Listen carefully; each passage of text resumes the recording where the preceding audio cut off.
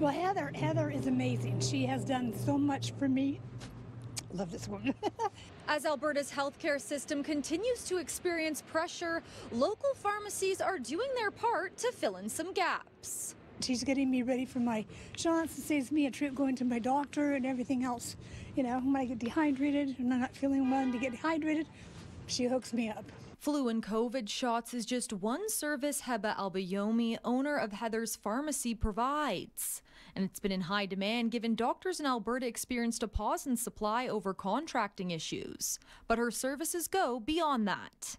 We offer so many clinical services um, that, that, like I explained, helps patients not have to see their doctors immediately, not have to go to the emergency departments and wait for hours to get the services that they need. Her shop prescribes prescriptions, performs blood work, and provides insulin to diabetic prone people, a saving grace for some who are struggling to get a family doctor.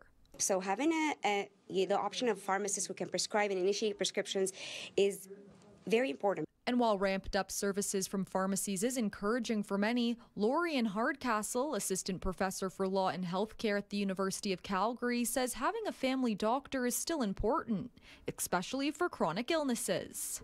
Um, what we're instead seeing, though, in light of the shortage of family doctors, is people are only seeing pharmacists or virtual care providers or walk-in clinics, and they're losing out on, on continuity of care when they when they do that. Hardcastle encourages using pharmacare for short term illnesses and family practitioners for long term illnesses. In Calgary, Margot Rubin, City News.